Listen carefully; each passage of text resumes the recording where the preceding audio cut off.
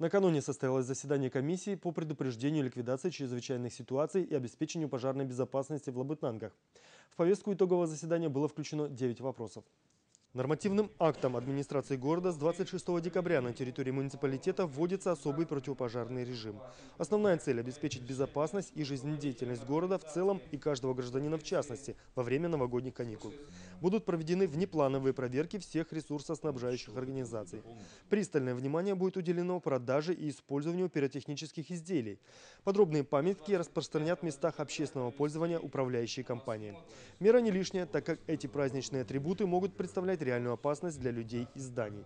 Что касается повседневной работы, не связанной с праздниками, то одним из вопросов стало неправомерное размещение пустых и полных газовых баллонов в местах общего пользования, что представляет опасность как для самих жильцов, так и для огнеборцев в случае пожара.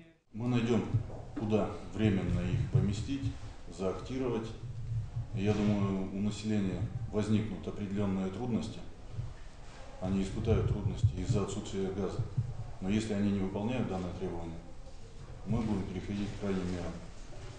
Баллон будет вывезен на ответ хранения. Скорее всего, мы определим место, это склад городского хозяйства. А дальше пусть люди думают сами. Управляющим компаниям всем развесить объявления в местах общего пользования с той информацией, что в случае выявления баллона на лестничной клетке он будет просто вывезен на ответ хранения. Всего за этот год проведено 19 заседаний комиссий по предупреждению и ликвидации чрезвычайных ситуаций и обеспечению пожарной безопасности. Но вопросы, требующие внимания всех заинтересованных в этой сфере сторон, остаются. Ведь только за этот год на территории муниципалитета произошло 48 пожаров. Погибло 2 человека, травмировано 6. Огнем повреждено 36 строений и 11 машин.